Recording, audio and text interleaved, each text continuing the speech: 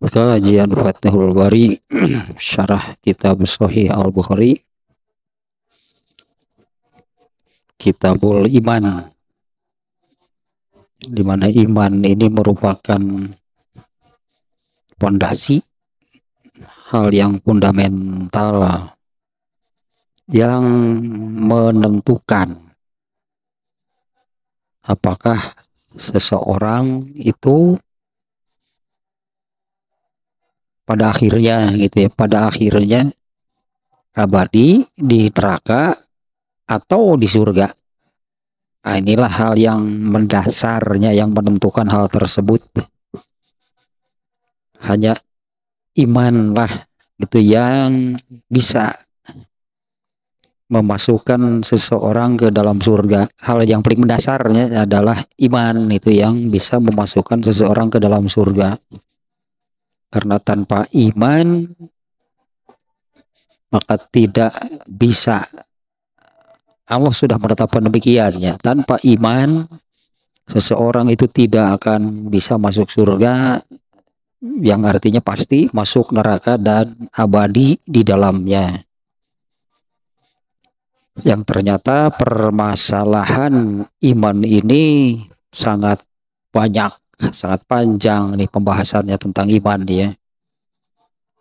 Dan kajian kita ini tentang iman ya, kita boleh iman ini baru bab ketiga.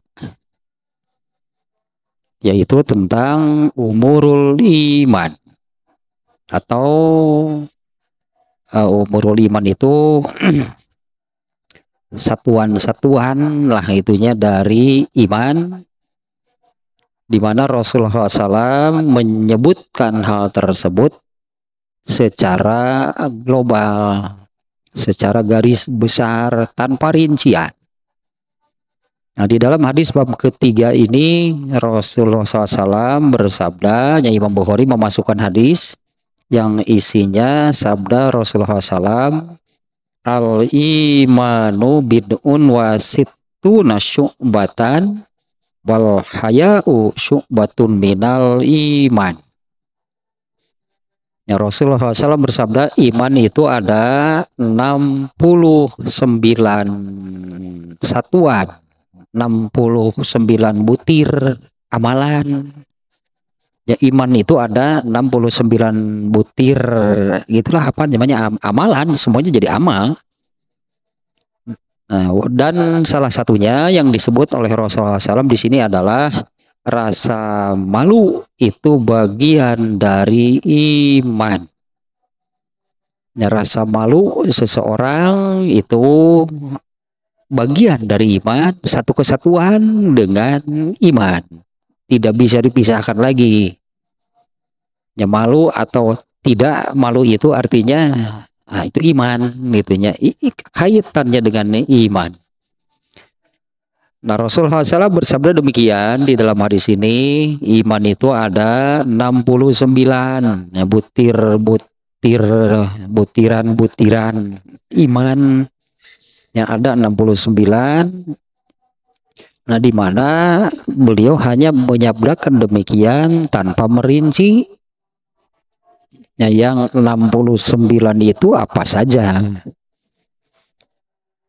Nah, maka banyaklah para ulama yang berusaha untuk menyebutkan, merinci, menerangkan satuan-satuan, butiran-butiran iman itu apa saja.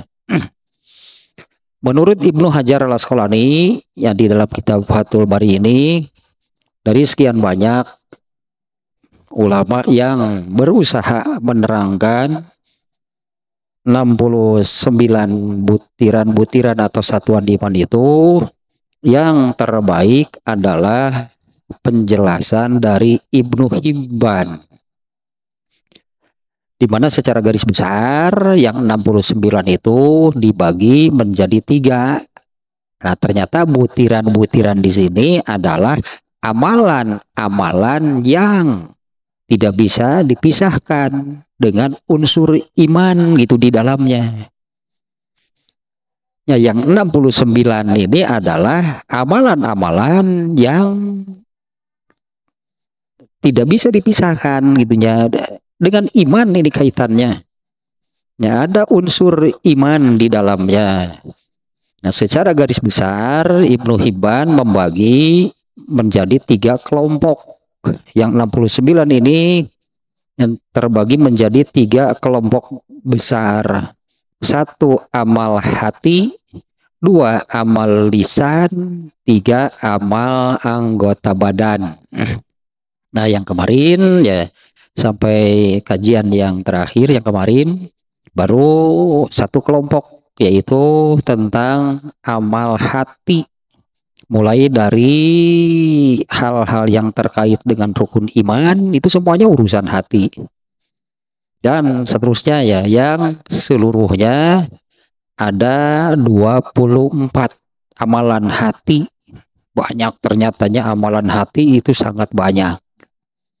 Yang semuanya tidak bisa tidak bahwa semua amalan tersebut itu ada unsur iman di dalamnya.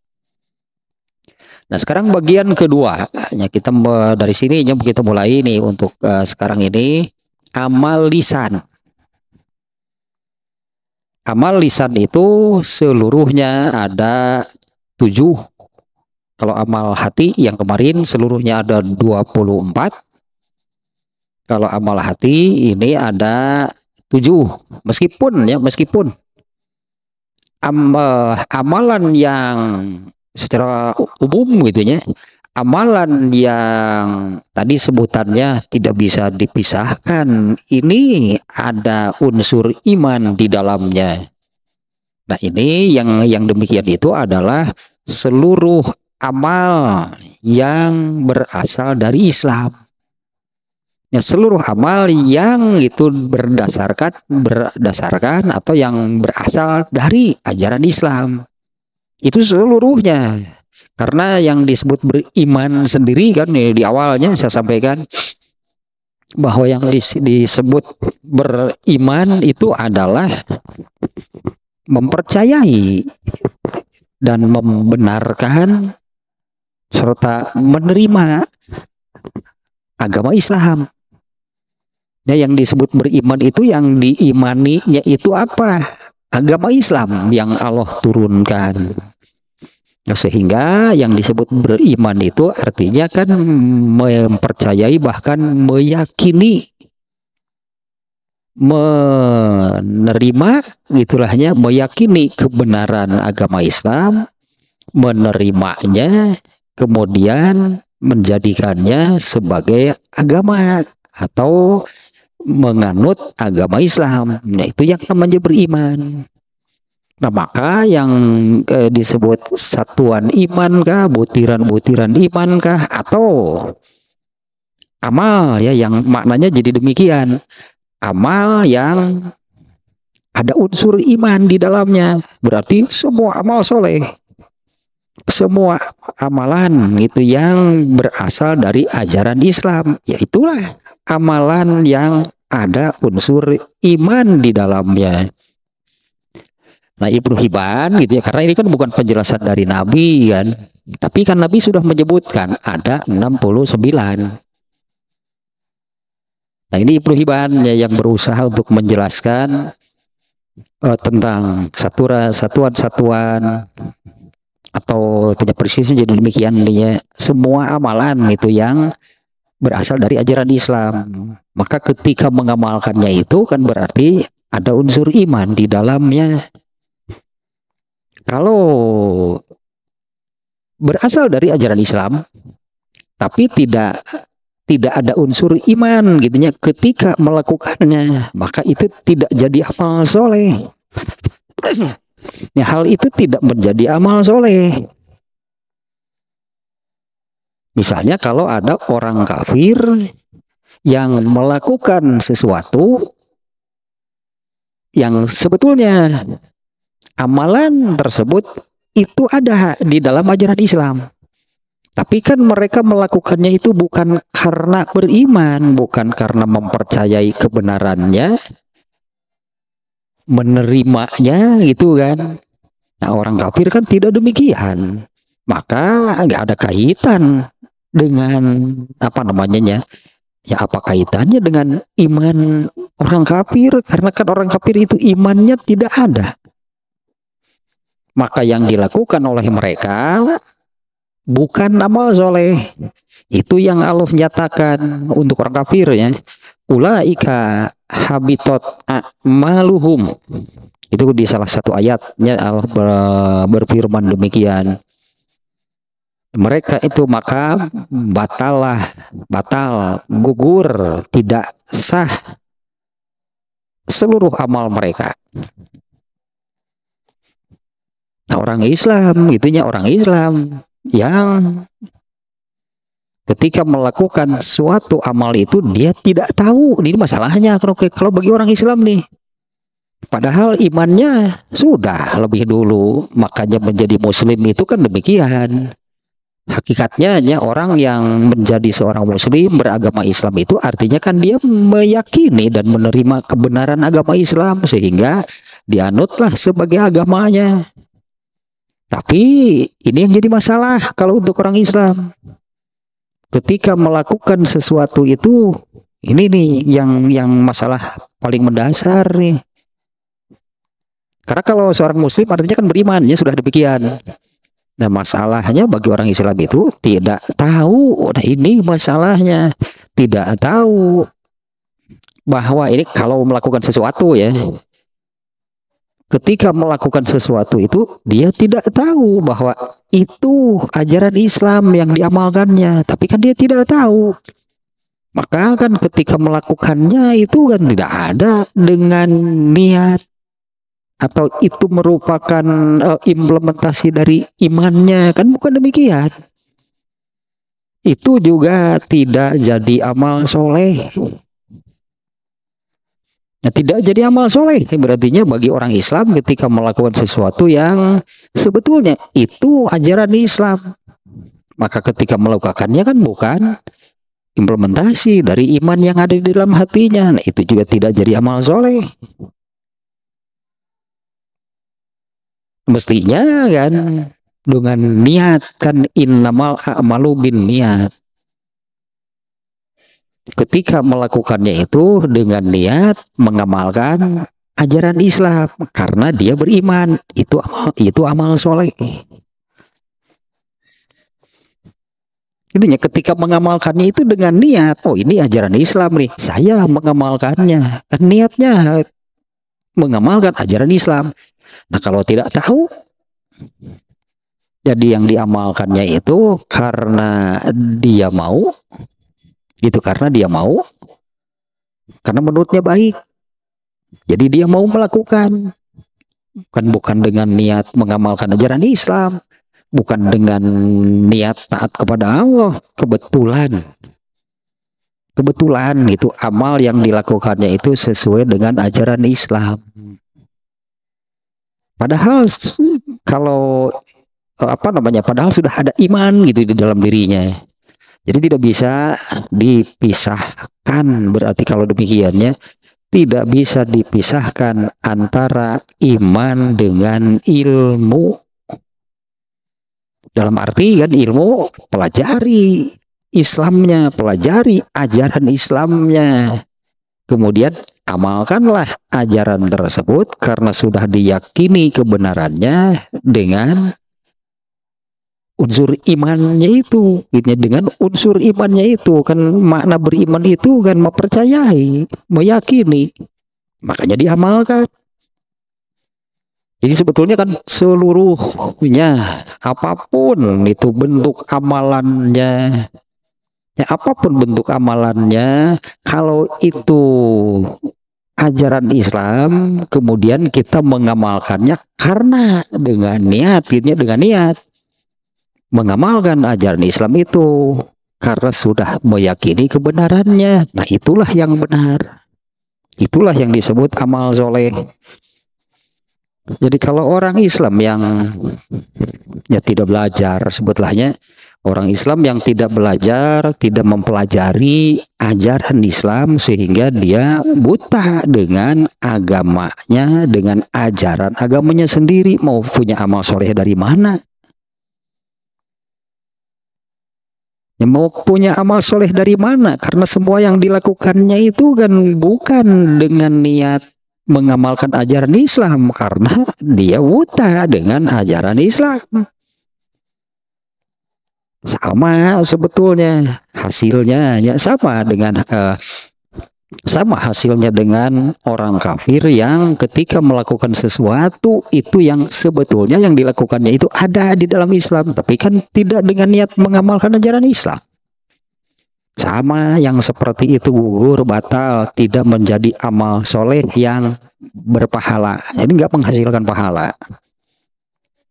Ya, jadinya tidak meng,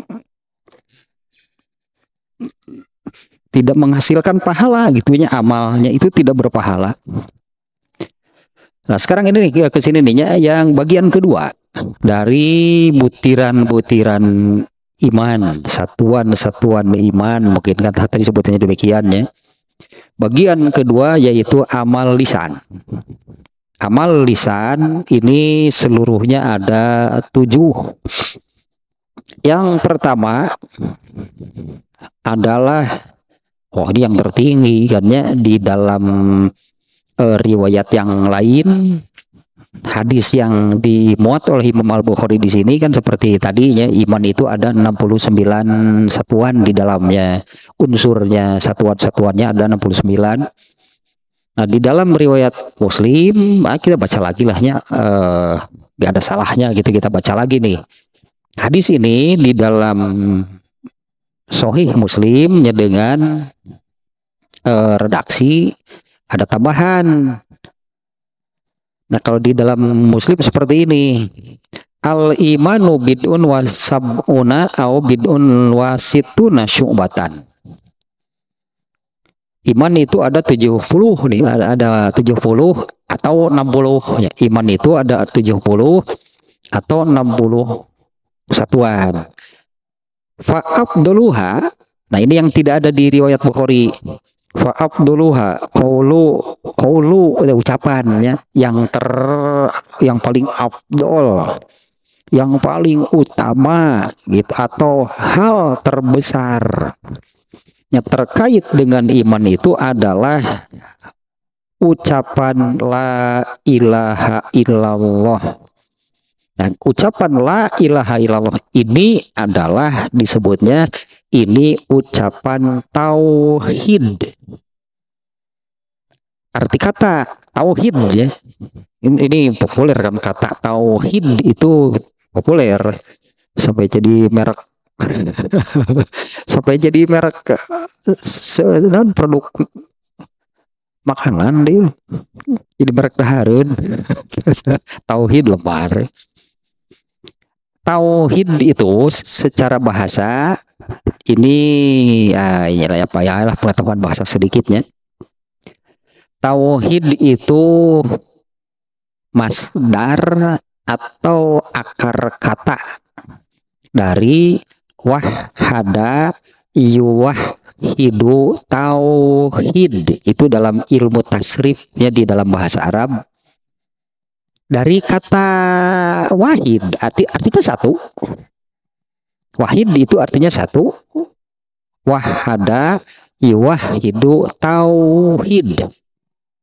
Kalau arti kata tauhid kalau wahid atau ahad gitunya itu artinya satu. Kalau tauhid bahasa Indonesia-nya yang paling pas mah memaha esakan Tauhid itu adalah artinya memaha esakan. Allah tentunya ya.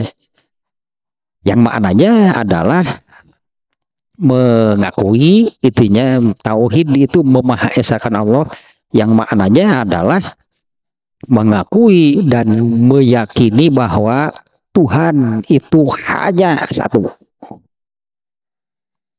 itu kalimat itunya la ilah. Nah, terjemah harfiahnya juga sudah nampak sebetulnya la ilaha illallah. Tidak ada Tuhan. Tapi kata Tuhannya di sini menggunakan ilahnya ilah nih. Kata Tuhannya menggunakan ilah. Kalau di dalam uh, di awal Al-Fatihah kan alhamdulillahi rabbi Tuhan juga tapi menggunakan kata rob di situ ya. Alhamdulillahi rob. Kalau robbun itu maknanya adalah yang menciptakan. Makanya robbul alamin yang menciptakan seluruh alam raya ini. Ini makna robbun ya Rabbul Alamin yang menciptakan, yang memberi rezeki, yang mengurus, yang memelihara, yang mengatur. Itu arti kata Rob. Adapun ilah, nah dalam kalimat tauhid itu tidak menggunakan la robba ilallah, tapi la ilaha kalau ilah itu kalau rob tadi mananya yang tadinya yang menciptakan gitulah yang memelihara yang mengatur alam raya seluruhnya Rabbul Alamin. Kalau ilah di kita diterjemah Tuhan ya lah la ilaha illallah tidak ada Tuhan selain Allah. Tapi kalau ilah maknanya bukan sebagai pencipta yang mengurus bukan kalau ilah itu Tuhan yang disembah. Bahasa kitanya disembah. Atau tempat manusia mengabdi. Jadi manusia ini mengabdi itunya mengabdinya kepada siapa? Seluruh makhluk sebetulnya kan bukan hanya manusia. Seluruh makhluk itu akan mengabdi dan menghamba kepada penciptanya siapa? Kalau pencipta kan robun ya katanya kholik, nah kholik juga pencipta. Di sinilah yaitu yang disembah, diibadahi lah bahasanya jadi demikiannya disembah, diibadahi. Ini maknanya adalah bukan hanya manusia sekali lagi seluruh makhluk seluruh alam raya ini wajib harus tidak boleh tidak hanya kepada Allah lah. Mereka ini mengabdi dan menghambakan dirinya. Tidak boleh ada yang lain tidak boleh kepada yang lain. Itu makna la ilaha illallah. Tidak ada Tuhan yang bahasa kitanya aja patut disembah, diibadahi, tempat manusia mengabdi, menghambakan diri kepada siapa? Tidak ada yang demikian kecuali Allah. Nah, inilah unsur iman yang paling besar. Yang paling utama, yang paling mah apanya mendasar itulahnya nih di di muslim demikian nih redaksi hadisnya.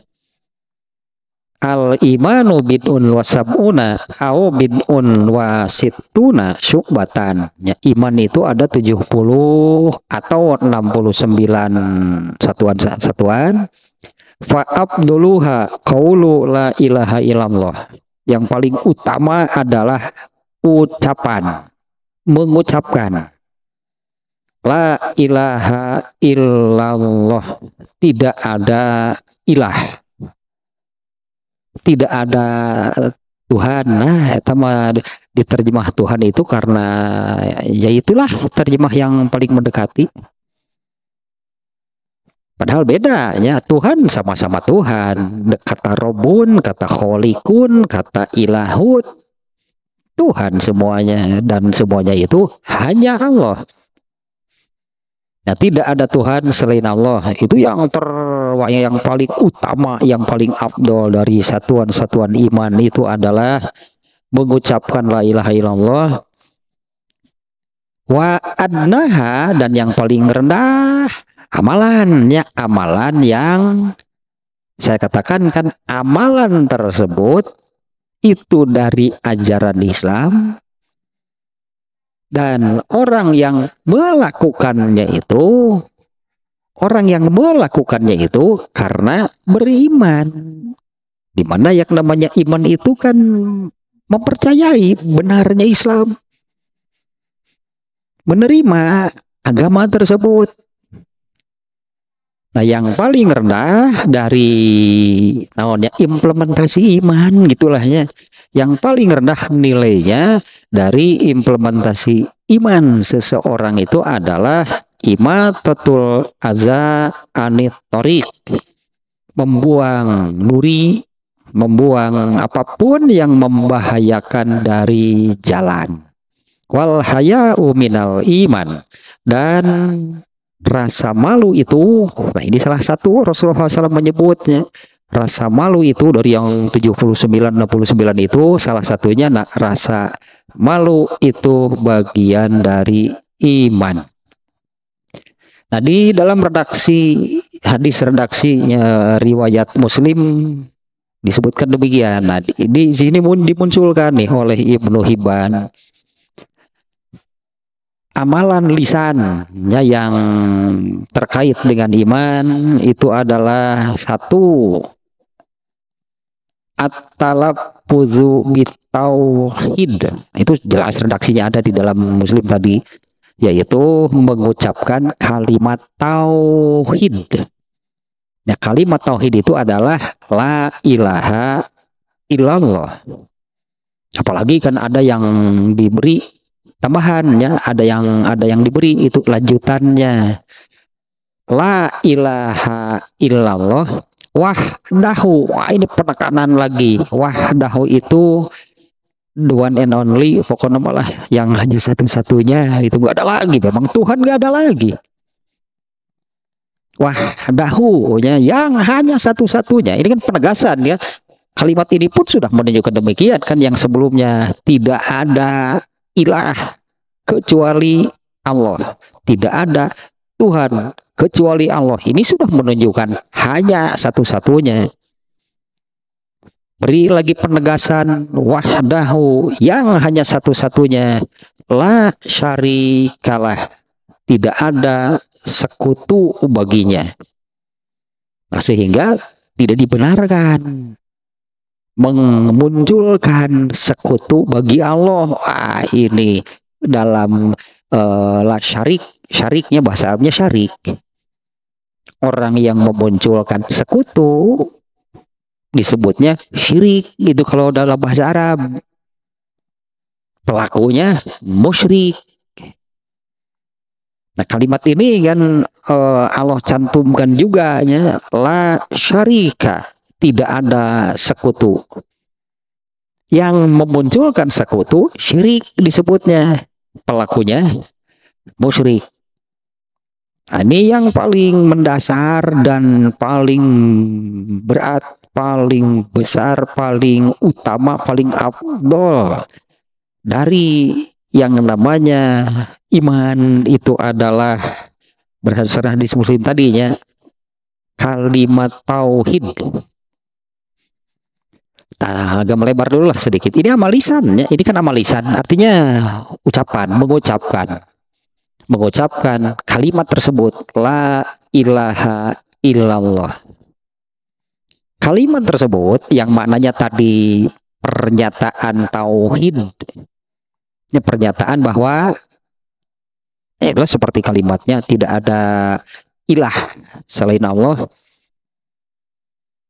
ini kan oleh Allah diwajibkan. Tidak bisa tidak. Semua manusia wajib, kudu, harus, tidak boleh, tidak. Ini yang Allah wajibkan. Kalau tidak, ya kalau tidak, berarti dia tidak mengikuti itu apa yang Allah haruskan. Kalau tidak tauhid berarti syirik, nggak ada yang lain. Tauhid itu memahaesakan, kalau tidak memahaesakan berarti menduakan mentigakan. Benar nggak maknanya demikian kan? Mengesakan, yaitu tadinya mengakui nih dan meyakini bahwa Tuhan itu tidak ada dua, tiga, banyak. Hanya Allah Tuhan. Kalau tidak demikian, berarti dia tidak mengakui bahwa Tuhan itu hanya satu. Oh berarti ada dua, ada tiga, atau banyak. Tauhid kebalikannya syirik. Nah, kalimat tau atau tauhidnya sendiri ini kan kalimatnya.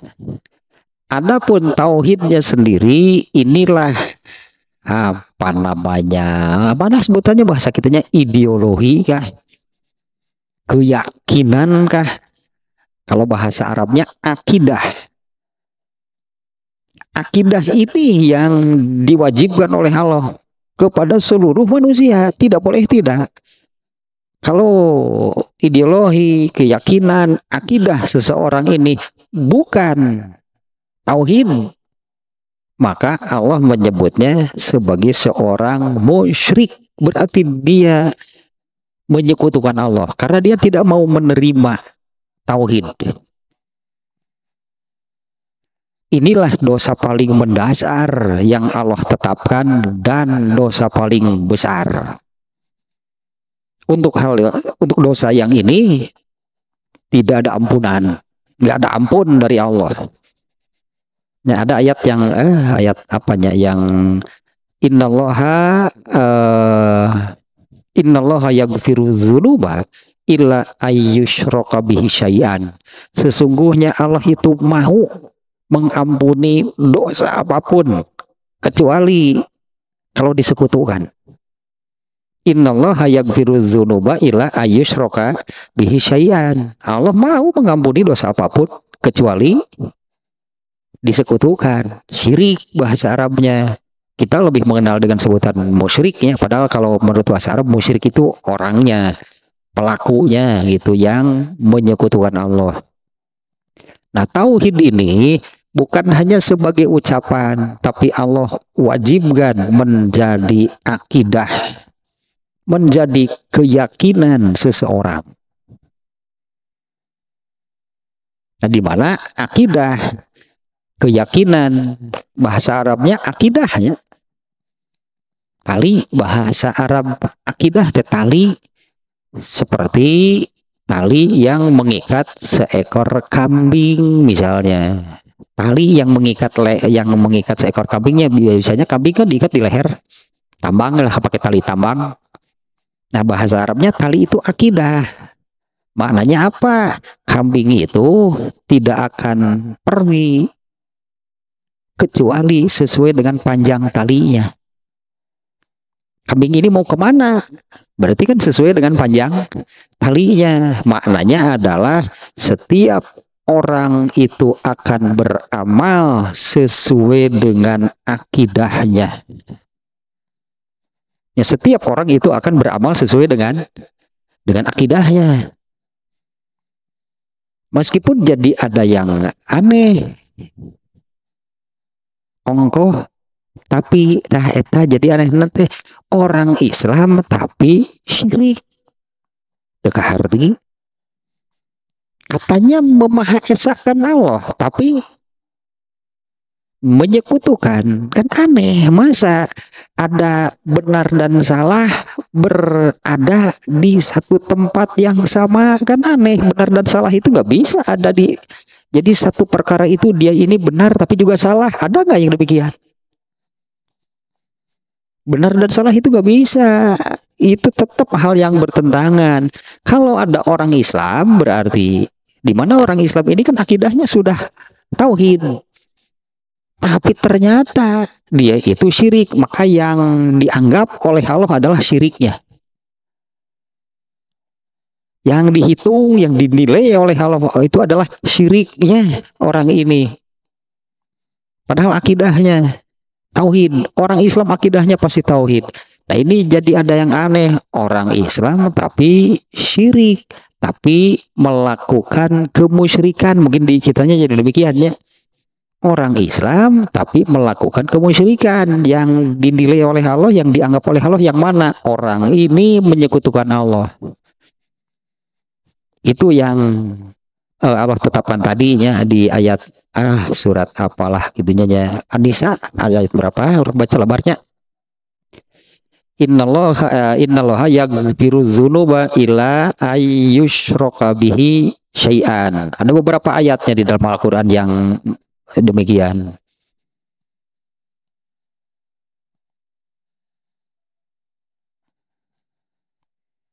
Anisa ayat 48. Padahal seluruh manusia sebetulnya yang Allah Allah mewajibkannya kepada seluruh manusia.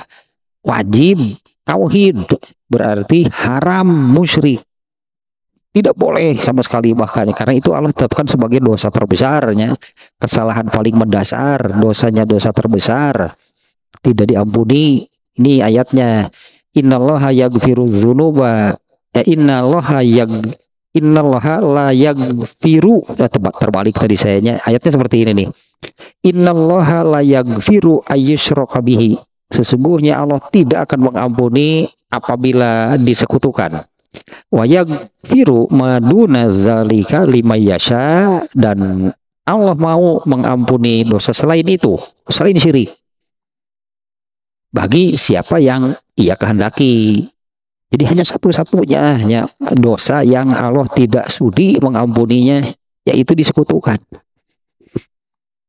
Kemudian satu lagi surat eh, An-Nisa 116. Innallaha yaghfiru la yaghfiru ayyushraka bihi wa yaghfiru ma dzuna zalika lima yasha. Ah, sama persisnya tadi ayat 50 eh 48. Kemudian An-Nisa 116 uh, mana laginya. Nah itu ada ada ada ada dua tuh. Yang pernyataannya demikian ya uh, yaitu uh, Allah tidak sudi itu mengampuni eh ya tidak sudi mengampuni dosa yaitu dosa syirik musyrik menyekutukan nah kembali ke sini nih ya. Yang pertama adalah kalimat atau mengucapkan kalimat tauhid. Kalimat tauhid itu adalah kalimat la ilaha illallah. Ini amalan lisan kan sebetulnya kan pembahasannya. Tapi saya e, barusan saya apa namanya ya apa namanya perlebar gitulah hanya penjelasan lebih di mana la ilaha illallah itu bukan hanya sebagai amalan lisan, tapi harus menjadi keyakinan. Harus menjadi keyakinan dalam arti mengakui, ya, mengakui dan meyakini itu yang disebut dengan akidah. Dan tauhid itu itulah akidah yang Allah tetapkan, yang Allah wajibkan bagi seluruh manusia. Kalau akidahnya bukan la ilaha illallah, jadilah ayatnya tadi ancaman dari Allahnya. Allah tidak mau mengampuni. Eh ternyata orang Islam juga malah ikut-ikutan lagi. Padahal sudah benar itu, padahal sudah benar. Di dalam dirinya itu ada seperti dua kalimat syahadat yang aku bersaksi tidak ada Tuhan selain Allah, tapi melakukan kemusyrikan. Nah, kemudian yang kedua, membaca Al-Qur'an. Wah, kalau tentang membaca Al-Qur'an sangat banyak lah penjelasan tambahannya, sangat banyaknya penjelasan tambahannya gitulah tentang membaca Al-Qur'an. Di antaranya gitulah ya, membaca Al-Qur'an itu atau pahala membacanya membaca Al-Quran itu pahalanya itu huruf demi huruf kata demi kata, kalimat demi kalimat, itu pahalanya masing-masing. Dan membaca Al-Quran itu, kalau dulu itunya contohnya para sahabat malah ada yang seperti ini. Artinya betapa mereka sangat sangat bersemangatnya dalam membaca, membaca nih, membaca Al-Quran. Ada sahabat yang Rasulullah saya sanggup hatam Quran dalam waktu satu malam saya akan melakukan demikian. Rasul melarang, jangan. Baca saja, eh, tamatkan saja dalam waktu sebulan. Nah, kelamaan, masa sebulan baru khatam. Karena ya Rasulullah memandang bahwa kalau hatam Quran dalam waktu satu malam orang ini berarti nggak tidur kan? Orang ini nggak tidur, mana cukup, mana bisa sebentar sejam dua jam hatam Quran mustahil. Saya sanggup lebih dari itu. Nah, kalau nggak salah dalam hadisnya itu 20 hari 20 hari lah kalau kamu mau cepat. Ah saya sanggup lah. Dua hari dua hari. Ah lah akhirnya kalau nggak salah seminggu itu sok seminggu hatam Quran ini maksudnya bahwa mereka hanya para sahabat itu begitu bersemangat bergairah dalam membacanya ini soal membacanya dulu ya dalam membaca Al-Quran ada yang bersemangat saya akan hatamkan Quran itu dalam waktu satu malam nah ini terkait pahalanya gitu ya membaca Al-Quran itu pahalanya itu huruf per hurufnya, kata per katanya, kalimat per kalimatnya itu membuahkan pahala. Kemudian satu lagi nih uh, ada hadis yang inilah. Ikra'u ikra'ul Qur'ana fi buyutikum la taj'alu buyutakum kuburo bacalah Al-Quran di rumah kalian. Jangan sekali-kali menjadikan rumah kalian itu seperti kuburan. Apa kaitannya nih? Bacalah Al-Quran di rumah kamu. Jangan menjadikan rumah kamu itu seperti kuburan. Maksudnya kan membaca Quran sengaja membaca Quran di kuburan kan nggak boleh. Makanya jangan menjadikan rumah kalian itu seperti kuburan seperti yang e, karena tidak pernah gitunya dibaca membaca Al-Quran di dalam rumah kamu itu seperti menjadikan rumah itu kuburan. Kan di kuburan nggak pernah ada membaca orang. Dulu para sahabat sengaja itu membaca Quran di kuburan. Enggak ada. Bacalah Al-Quran itu di rumah kalian. Jangan menjadikan rumah kalian itu kuburan. Nah kembali ke sini lah tentang baca Quran. Banyak sebetulnya tadi lah ya. Membaca Quran itu ibadah. Membaca Quran itu pahalanya demikian lah yang tadinya. Nah, yang keduanya amal lisan itu membaca Al-Qur'an. Yang ketiga, ta'allumul ilmi. Mempelajari ilmu. Kalau mempelajari ilmu, pasti artinya lisan ini akan terlibat lah. Ya akan ada gitu amal lisannya apabila seseorang mempelajari mempelajari ilmu kalau dalam hal ini bolehlah kita khususkan ya mempelajari ilmu agama tentunya nih ya. Pasti ada lisan gitu, ada amalan lisannya di sana. Ya ketika mempelajari ilmu. Kemudian yang keempat mengajarkan atau menyampaikan ilmu. Meskipun tidak selalu nih tidak selalu nih untuk mengajar atau menyampaikan ilmu itu dengan lisan. Seperti Rasulullah SAW sendiri menyampaikan, mengajarkan ilmu itu dengan amalan juga ada. Seperti di sehingga didefinisikanlah gitunya yang namanya hadis, hadis sunnah itu adalah maja'a anin nabi. Yang disebut hadis atau sunnah itu adalah apa yang datang dari nabi. Min kaulin baik berupa ucapan. Au fi'lin atau berupa amalan perbuatan. Nah semua amalan. Eh ucapan ya semua ucapan semua amalan nabi itu itu pengamalan dari ajaran Islam. Yang diucapkan nabi itu adalah ajaran Islam. Makanya jadi hadis. Rasulullah bersabda begini itu kan. Rasulullah SAW itu bersabda demikian lah. Islam berarti kan yang diajarkan oleh Rasulullah ya itulah agama Islam atau para sahabat suka mengatakan, aku melihat Nabi. Ya, artinya Nabi melakukan sesuatu. Dan apa yang dikerjakan, diamalkan oleh Rasulullah SAW itu adalah beliau itu mengajarkan, menyampaikan ilmu. Nah kalau dalam hal ini dia menyampaikan ilmunya dengan lisan. Ya, karena ini sekarang kan bagiannya tentang amalan lisan berupa ucapan yang menyampaikan atau mengajarkan ilmu.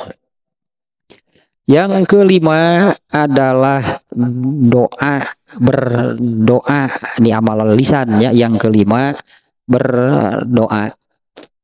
Nah, saya nggak memberi per, per, tambahan penjelasannya berdoa gitu itu termasuk amal lisan. Ya orang berdoa kan karena iman pasti. Kepada Allah yang nggak percaya tapi dia kalau meminta kepada Allah sopi kesebelin hari itu ente. Ay percaya ente ke Allah ya. Tapi di saat butuh di saat menghadapi masalah besar ingat kepada Allah. Berdoalah orang itu kepada Allah. Eh seperti ada beberapa ayatnya banyak ayat yang yang menerangkan seperti ini. Ketika mereka berada di tengah lautan lalu dengan apa namanya cuaca yang buruk gelombang yang besar mereka ini sudah eh, apa namanya putus asa lah tidak ada harapan untuk selamat maka mereka berdoanya itu deh iya iya contoh atau ayatnya surat Luqman di antaranya yang menerangkan demikian tadi surat Luqman ayat 32 kalau nggak salah Nah, kita lihat nih ayatnya yang demikian nih ya.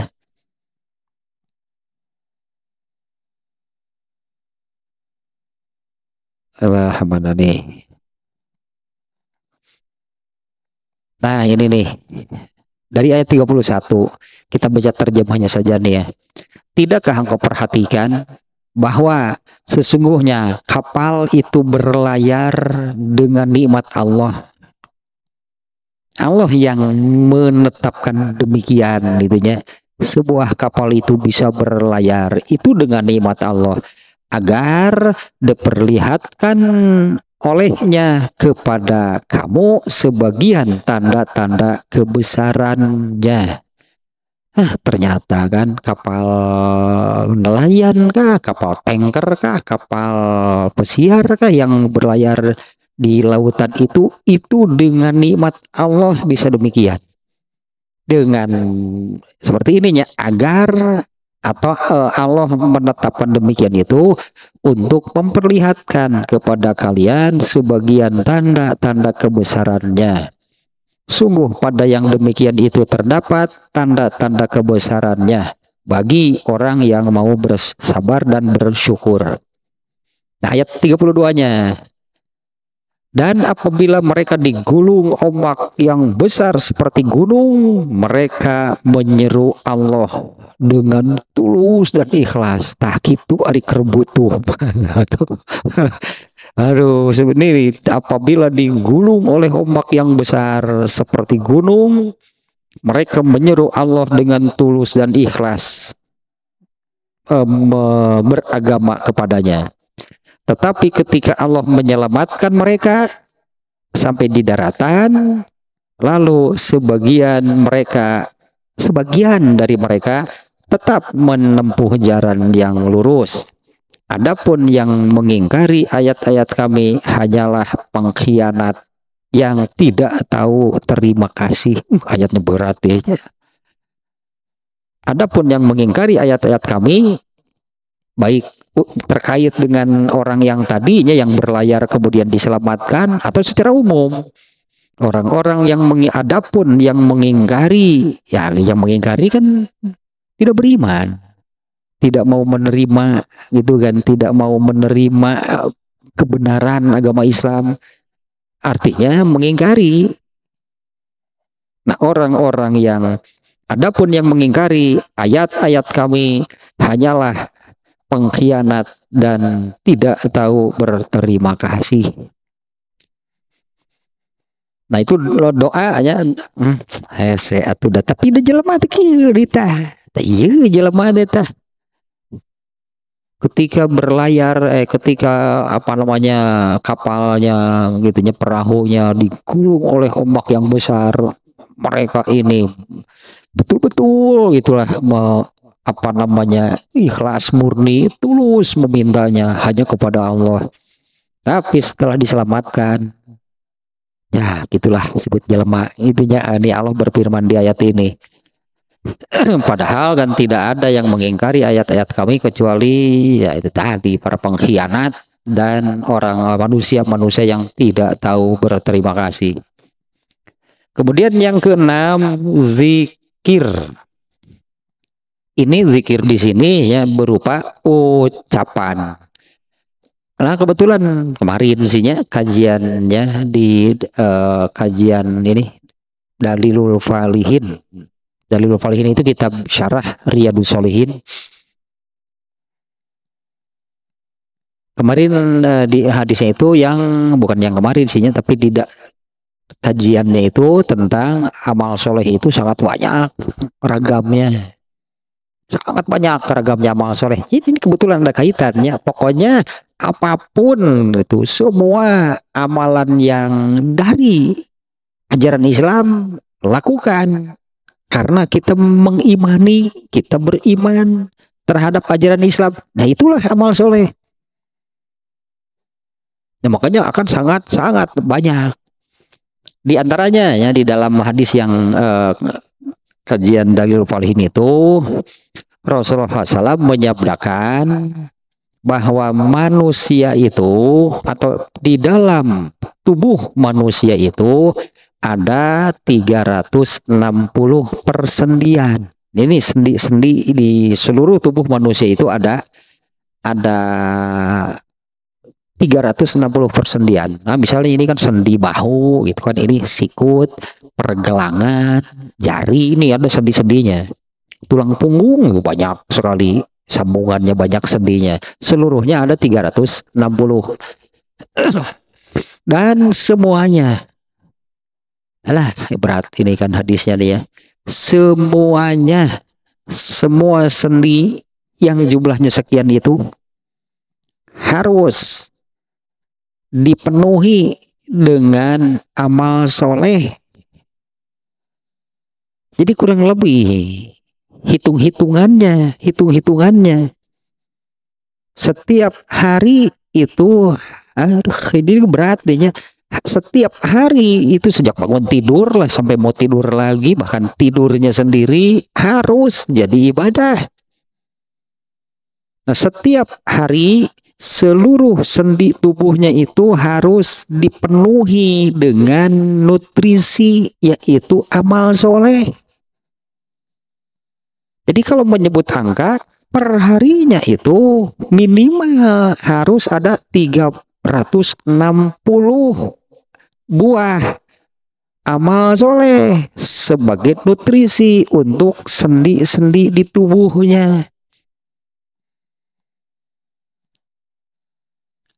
Sanggup? Ah Waduh, ini 360 itu ada hadisnya yang berangkat demikian bahwa manusia pada eh, di dalam tubuh manusia itu ada 360 persendian dan sejak mulai bangun tidur gitulah kurang lebih demikiannya mana hadisnya. Sejak subuh sejak pagi hari sejak bangun tidur si nutrisi eh si sendi seluruh si seluruh sendi itu harus di diberikan diberikan. Kalau di dalam hadisnya sodakohnya amal solehnya. Artinya harus ada harus diberinya sebutlah nutrisinya untuk se semua persendian itu nutrisinya itu berupa amal soleh. Dalam atau per hari. Nah, sebetulnya kan kalau kalau mau gitu, kalau mau mengisi ha, apa namanya ya, mengisi waktu yang sehari semalam itu dua dua dua ratus kayak 24 jam. Cukup sebetulnya. Cukup sebetulnya gitu ya kalau selama uh, sehari semalam 24 jam itu mau beramal soleh karena amal soleh itu sangat banyak ragamnya. Nah, kembali ke sini nih. Zikir eh di hadis barusan nih, di hadis barusan. Ucapan tahlilnya itu sodako bahasa hadisnya ya.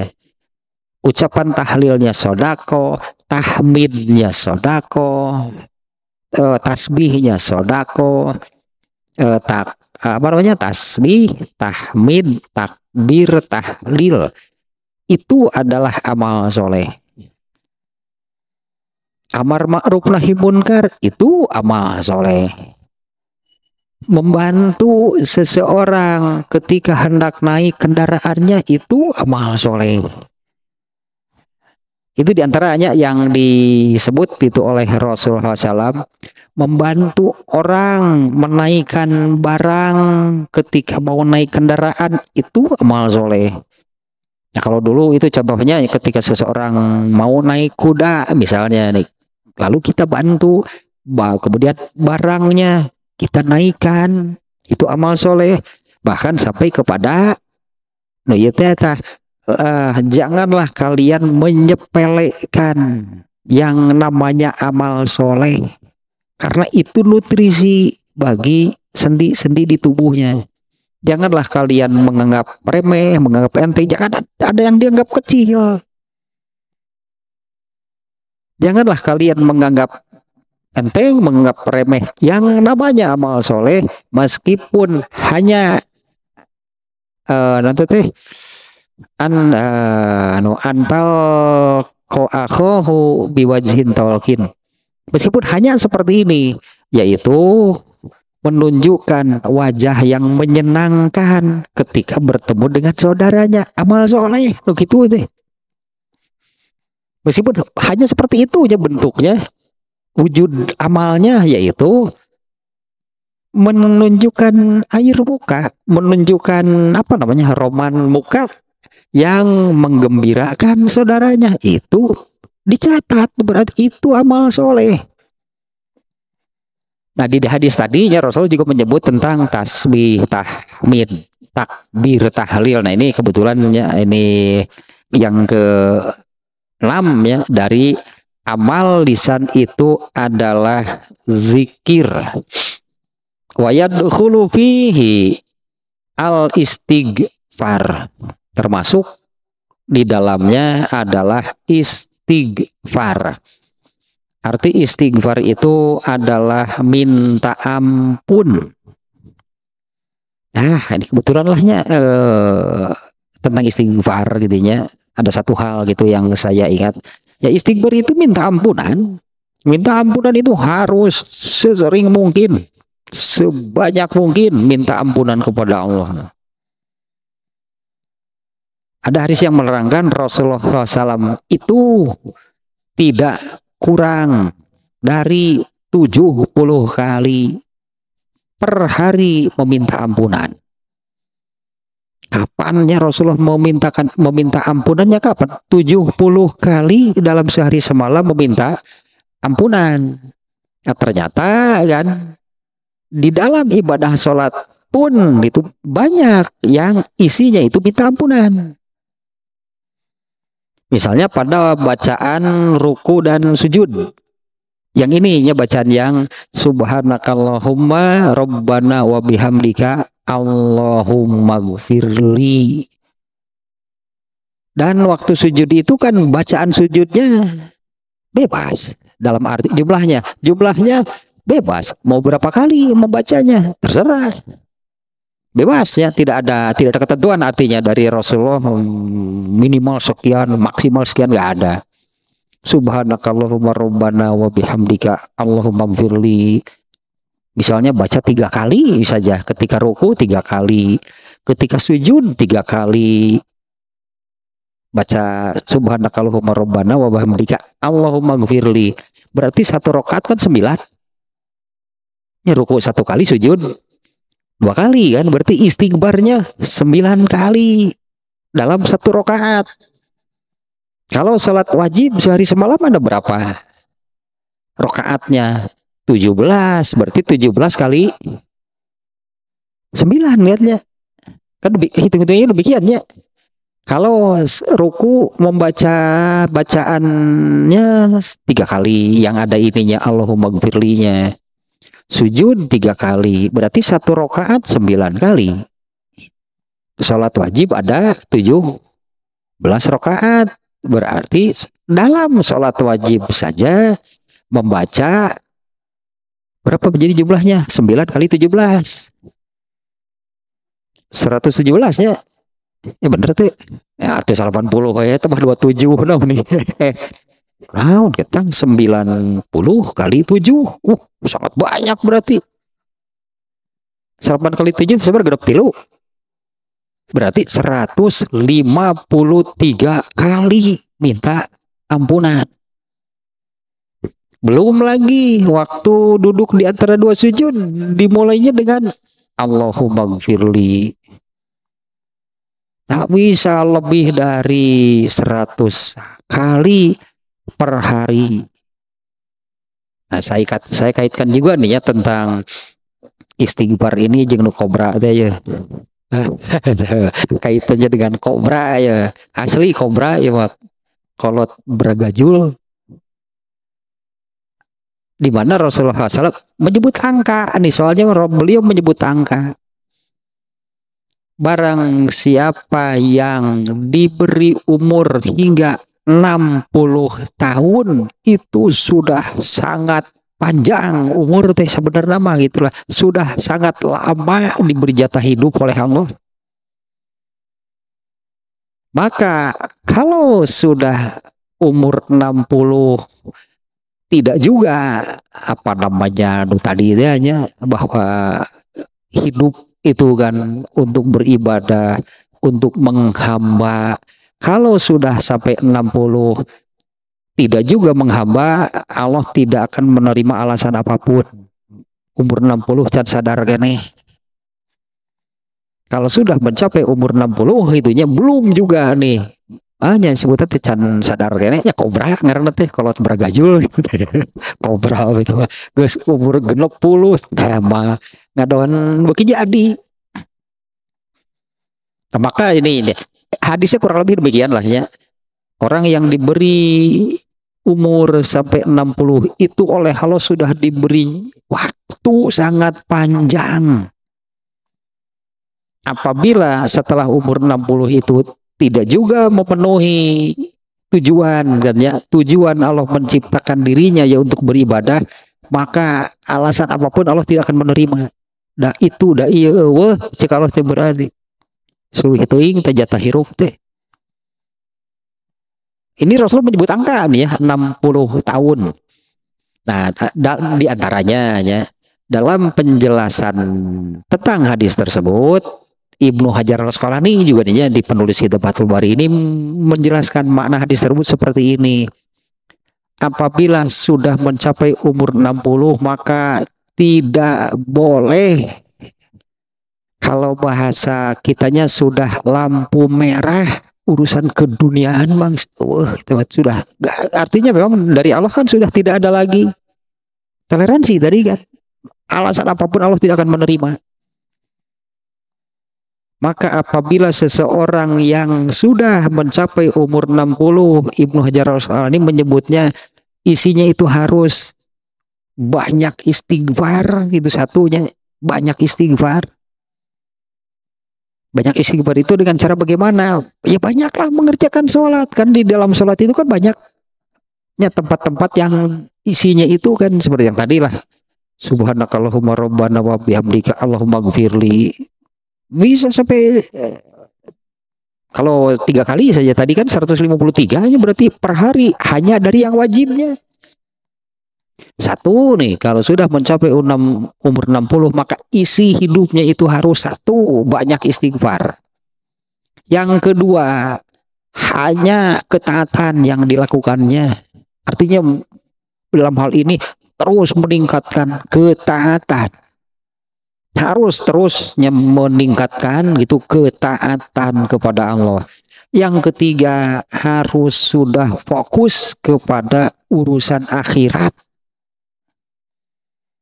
Taita Ibnu Hajar al Asqalani menerangkan demikian ya. Ini terkait dengan istighfarnya saya ingat hadis tersebut.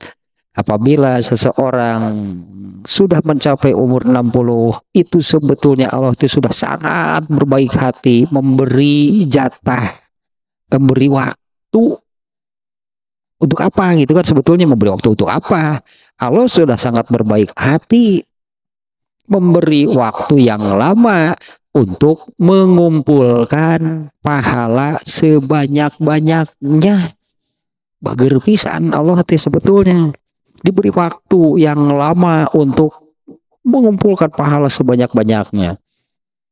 Nah, maka apabila sudah mencapai umur 60 tidak sesuai itunya ya yang tadinya tidak uh, hidupnya itu sesuai tidak sesuai dengan maksud dan tujuan Allah menciptakannya maka tidak ada apa pun alasan yang akan diterima oleh Allah.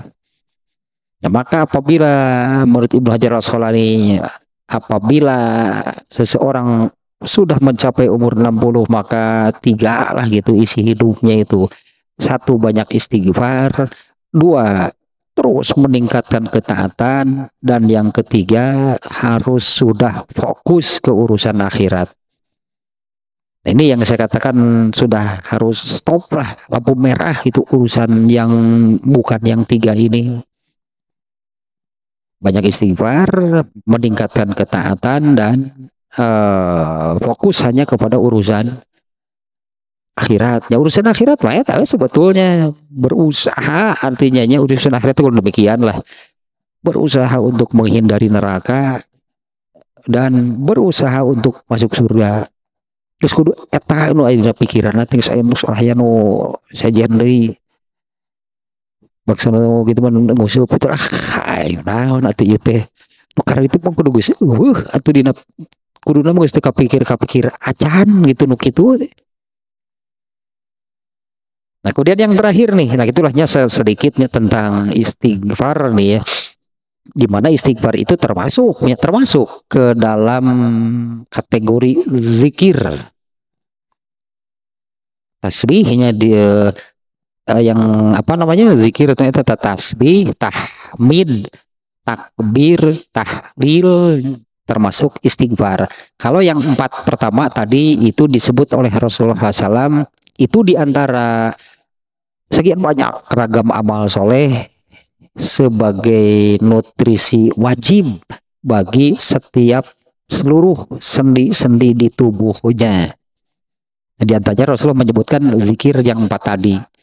Nah, di sini ditambahnya dengan istighfar. Sedikit tadilahnya penjelasan tambahan gitu tentang istighfar itu terkait dengan uh, kobra lah, terkait dengan dengan kobra tadi lah.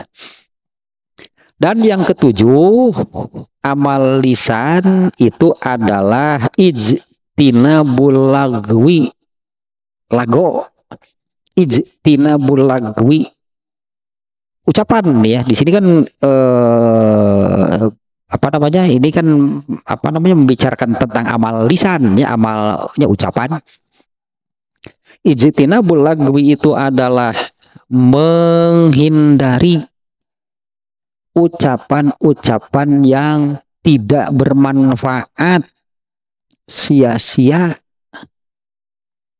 Yang seperti apa? Itu yang disebut ucapan yang tidak bermanfaat yang sia-sia.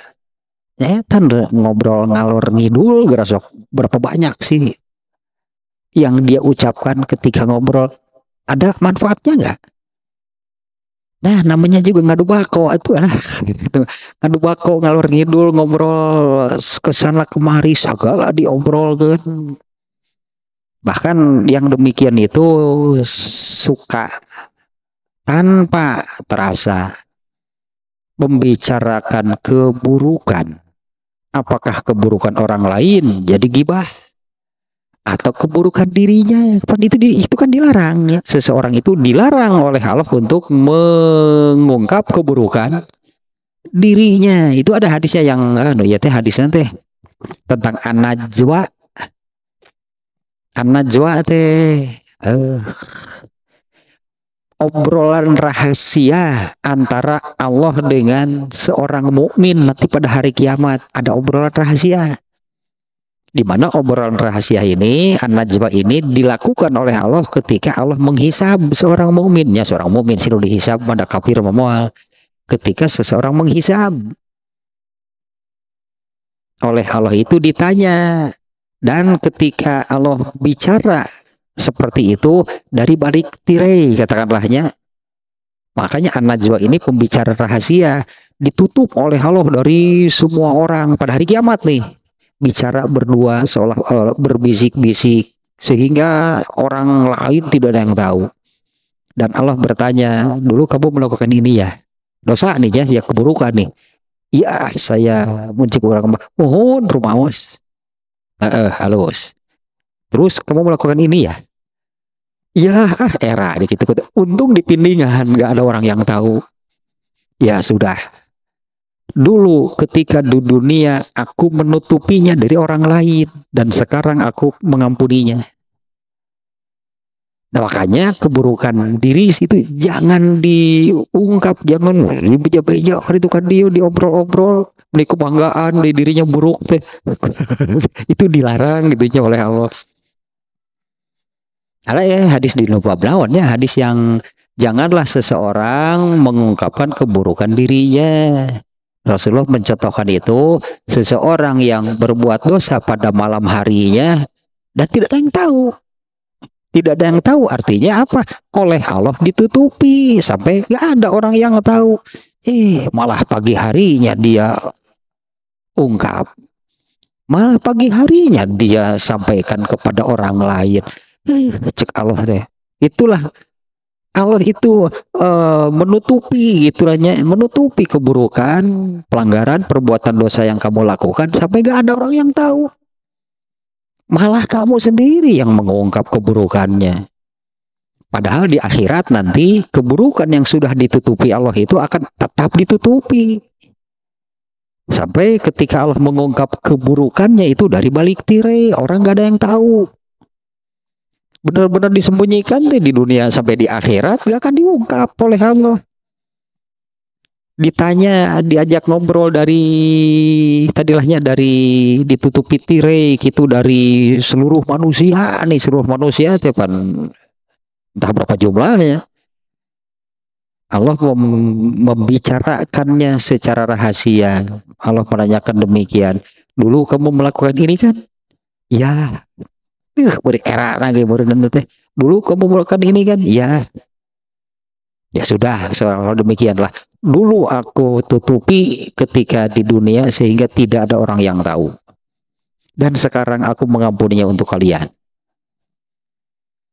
Nah, kembali lagi ke sini nih. Ini yang terakhirnya ijtina bulagwi menjauhi ucapan-ucapan yang Ya jangankan yang melanggar, kalau berbohong itu ucapan pelanggaran itu apa?